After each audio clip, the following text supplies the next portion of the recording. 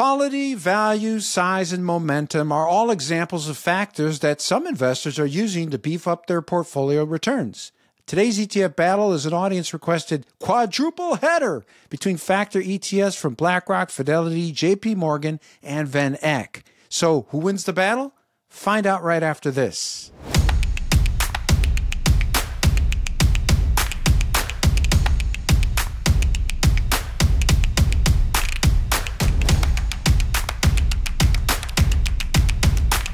Welcome to ETF Battles. I'm Ron DeLegge, and it's great to see you. This is season four, and if you're new to the show, so glad to have you with us. Be sure to hit that subscribe button, and for longtime viewers, welcome back.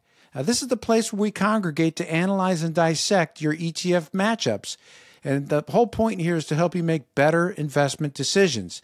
So, if there's an ETF battle that you'd like us to do, please send me your ETF ticker symbols in the comment section below or on our X feed at ETF Guide. We could do double, triple, and quadruple headers, so make it good. And while you're down there, uh, visit the description section below of this video. We've got important links to our program judges. Plus, we've got a link to our program sponsor, Direxion. Lots of good stuff down there, so don't miss it.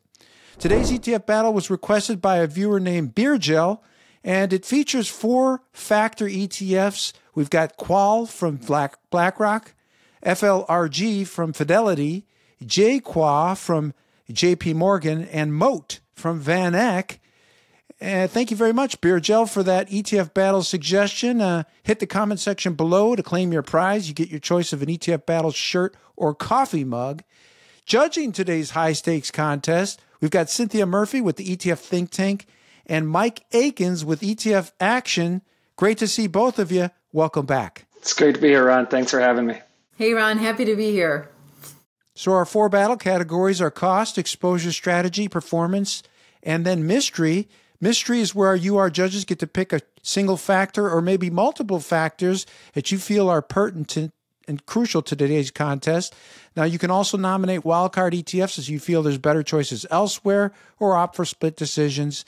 I've got the scorekeeping chores, and at the end of the show, we will declare an overall winner. Keep in mind, none of the battle outcomes are ever predetermined or known in advance by myself or our judges. So, it's sisters before misters. Let's kick things off with the first category cost. Cinthia, please get us started. So in this uh, in this category, uh, the prices are pretty different when it comes to expense ratios and management fees. Uh, you range anywhere from 12 basis points to 46 basis points. 12 being JQuA from JP Morgan, 46 being Moat at the other end. Uh, so, you know, obviously JQuA wins just at face value. Uh, both JQuA and Qual are very similar in this category, so it's almost a split decision there in the in the fact that it's 12 versus 15. Uh, Qual is a much bigger fund, is a 30 billion dollar fund, so trading execution is nice and clean. Uh, spreads are tight, so there's a trading advantage in terms of cost uh, over time on Qual. Uh, but you know, for the purposes of expense ratios, I'm going to give it to JQuA as the absolute cheapest in this category. Thank you, Cinthia. Mike, you're up next. How do you see it when it comes to cost? Yeah, I mean, I don't have much to add. Cinthia hit all the the important points. I agree that uh, you know you can look at Qual or JQuA as being the, the cheapest. They're three basis points difference. So they're those are the two winners of the category. One thing I would add is unlike a lot of times where I say expense ratio is not a big deal, this category is a little more important because they are core strategies. They they have pretty high overlap with the broader market. Um, so this is a they're designed to be cores of your portfolio where you're going to be in them for a long time. They're going to have short, small tracking error to the overall market. So expense ratios are going to add up over time. So it's a little more important than normal um, when we're doing these battles. And I just thought I'd point that out. That takes us next to exposure strategy. Mike, you're still up. So give us your analysis. Which of these four ETFs stands out? Yeah. So, I mean, they all have unique. I mean, they're all factor strategies. Uh, Qual and JQuA are specifically designed to go after quality. Quality meaning normally when you think about quality, you're talking about return on equity, um, your leverage ratios such as debt to equity, your profitability re- ratios like net margin. And Qual and JQuA both screen extremely well on those.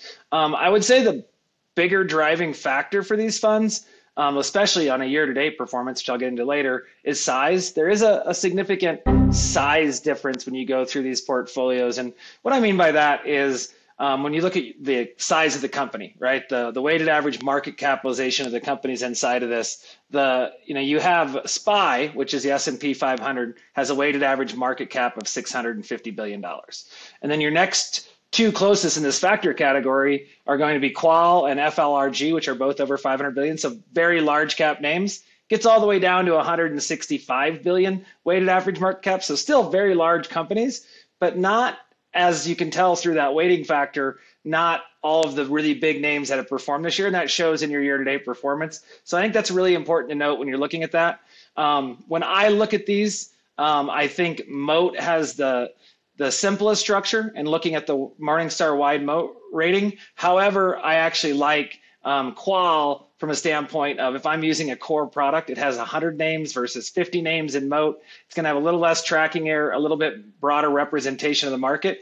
I might think of Moat to be a little bit more of a tilt um, on that on that perspective, whereas Qual can be thought of as more of a core holding. So I like that quality um, base to my portfolio. And for this category, I'm thinking these are all core type strategies. So I'm going to go with Qual. They're all pretty good. Um, and we'll talk about performance risk in a second, but I think Qual has the most um, dynamic from a standpoint of core that I'm looking for in this battle. Cinthia, your turn. How do you see it when it comes to exposure strategy? You know, I, I completely agree with Mike. I, I think, uh, you know, in the battle for quality, Qual and JQual are almost identical, very little differences in terms of construction. What I like about both of them actually is that uh, they are designed to give you almost market like exposure. So they're comparing and they're looking for quality factors of companies within their sector. So it's a very peer to peer comparison in search of that quality screen. So you're comparing apples to apples within sectors and both portfolios make sure you, you maintain, you know, an all sector allocation very market like. So there's not a lot of crazy sector bets here. It's they're both very clean approaches uh, to to the quality factor. Uh, FLRG is a completely different beast. It's actually a multi-factor ETF. It's not just quality. It actually has momentum, low vol. Um, and uh, value in there as well. So it doesn't really compare when it comes to the approach of if you're looking for a quality screen. And Moat, exactly what Mike said, it's a completely different beast. It's very concentrated. It's almost like, uh, you know, uh, a packed punch thematic play within the quality factor. So it could be almost a complement to your broad quality exposure. So if you're just looking for an easy button quality allocation, I think you can't go wrong with Qual or JQual. Uh, I do like Qual a little bit better. Uh, but uh, you know, uh, Moat is a, is a great you know power packed uh, quality punch in a different type of way, very concentrated. The next category is performance, and uh, this is where it really gets interesting. Which of these funds stands out?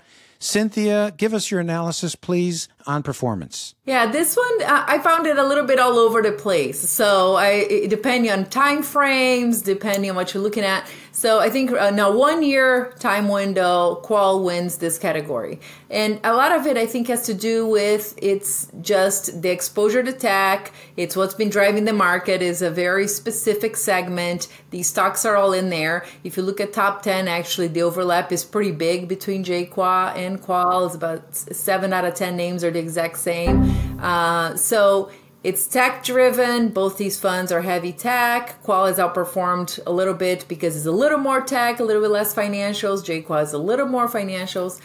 And the other two are lagging significantly eh, this year. Now, if you go three year, five year, uh, I think Moat has a really interesting performance. In fact, Moat has outperformed the S&P 500 since inception. Uh, so, you know, over time, he has really strong legs and he has that valuation screen as well. So you're never, you're trying not to overpay for quality names. And over time, it shows that in the performance. Um, so I don't know how to, to give you an answer on this one. If you want short term performance, it's Qual. If it's longer term performance, I'd give it to Moat. Thank you, Cinthia. You're up next, Mike. How do you see it when it comes to performance? Yeah, it, it's a tough one. I mean, they've all performed pretty well. Uh, FLRG is lagging this year um, at 5.69.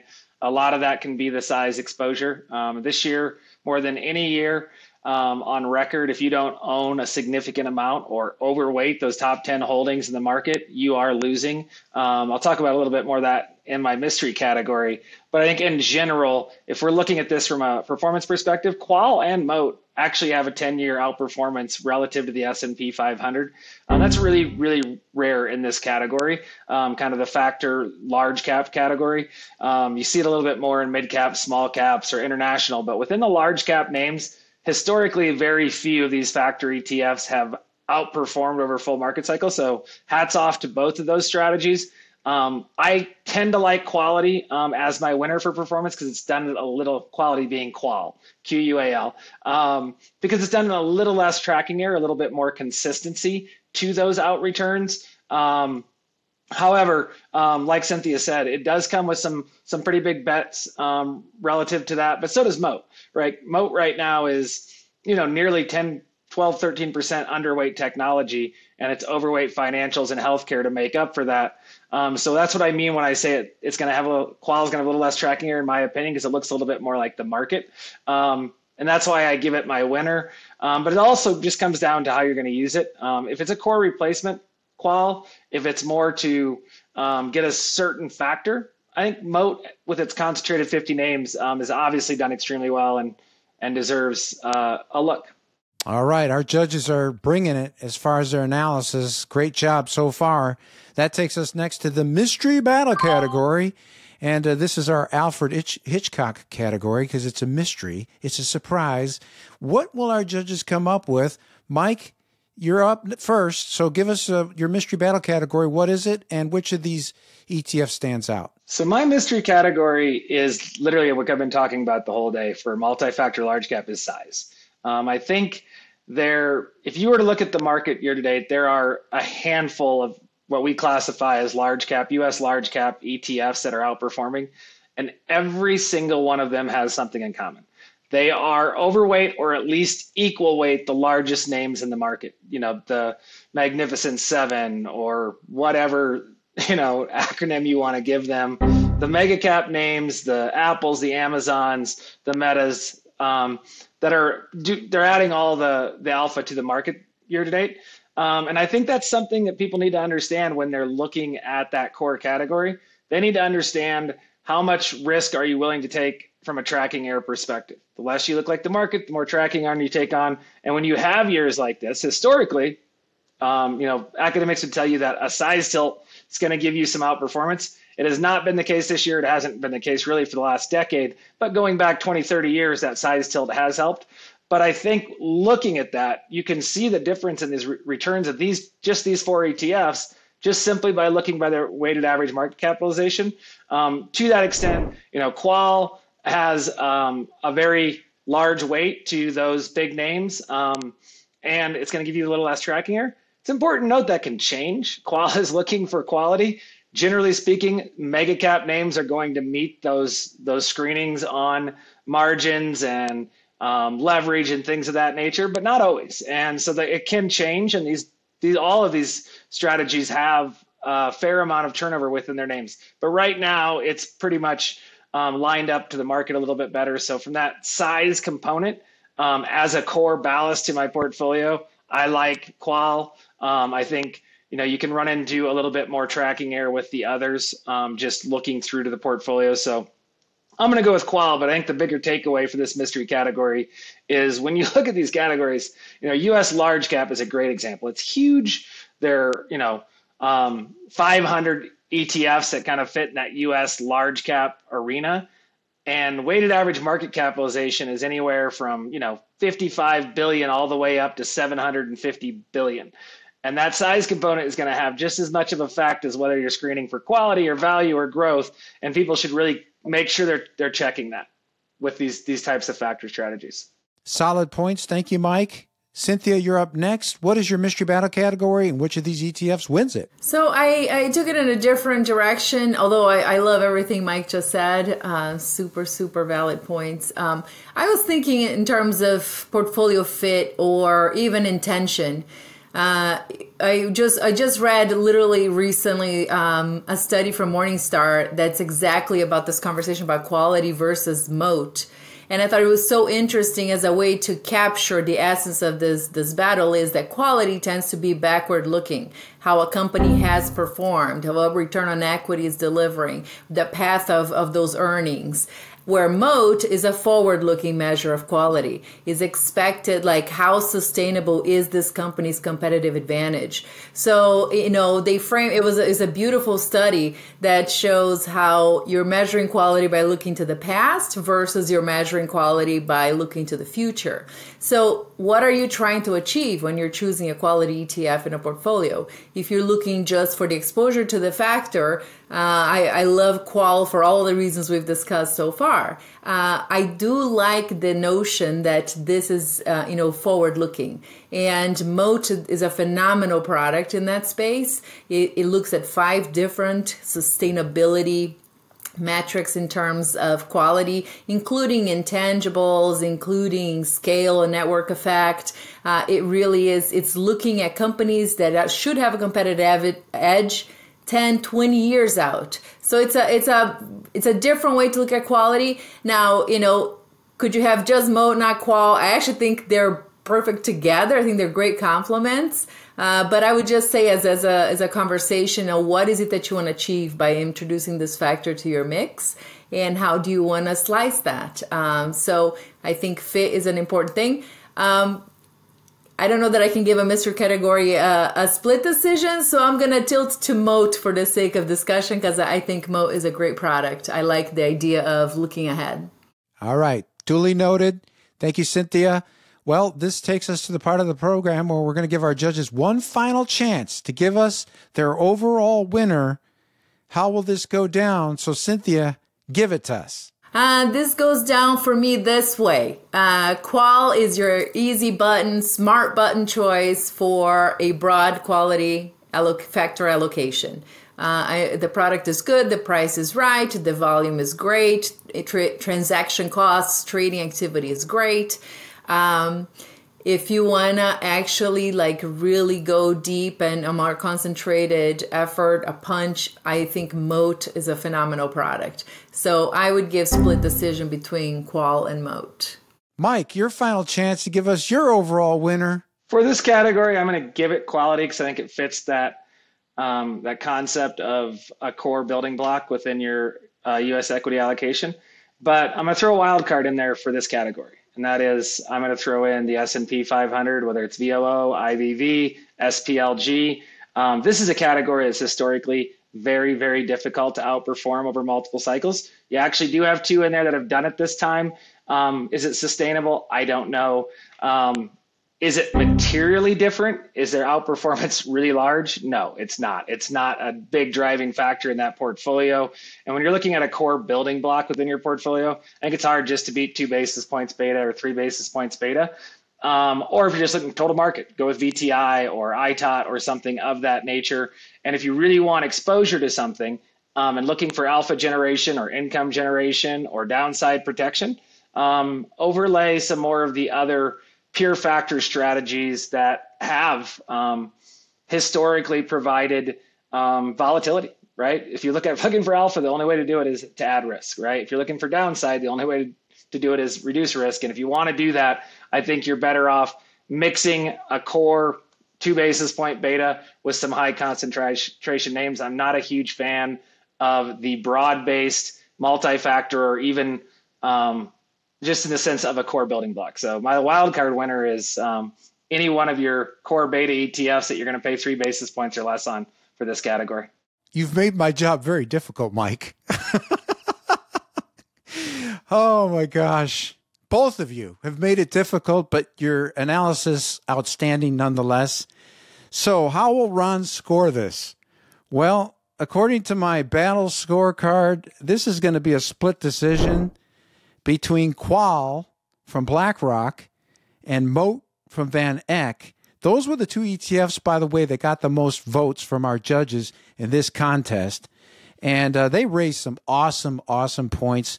I mean, so many great takeaways. I mean, the one thing that stands out to me is maybe, depending on how you're using these ETFs, maybe you use both Maybe it's not a question of one or the other, but both.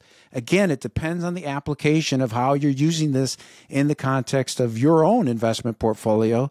So, some forethought has to go into that before buying any of these ETFs. And uh, Cinthia raising the point that uh, Moat, she liked the fact that it has that quality forward looking bias, whereas a lot of these quality screens tend to be backward looking. I thought that was a, a great point. And then, of course, uh, she highlighted Moat's awesome performance. Mike pointed out the same thing. Moat and Qual both outperforming S&P 500 over a 10-year period. Um, have these funds even been around 10 years? Uh, wow, that's pretty amazing. 10 years have flown by uh, on the calendar. It's, it's, it's pretty incredible. I remember just yesteryear when these funds were rookies. But um, that was a, certainly a great point. And uh, of course, again, uh, our judges laid it out. I think they gave us some great analysis, many wonderful things to think about. Um, and again, Mike and uh, Cinthia, great job. Keep up the good work. We couldn't have done it without you. Thanks, Ron. Always a pleasure. Thanks, Ron. It's great being here. Well, thanks again, Cinthia and Mike, for your outstanding, timely insight. Be sure to visit the description section below. We've got links to both of our program judges, along with a link to our program sponsor, Direxion. Which ETF battle would you like to see on the next episode? Let us know. Hit the comment section below with your ETF tickers or find us at ETF Guide. That's our X feed. I'm Ron DeLegge. Thanks for watching ETF Battles. We'll see you next time.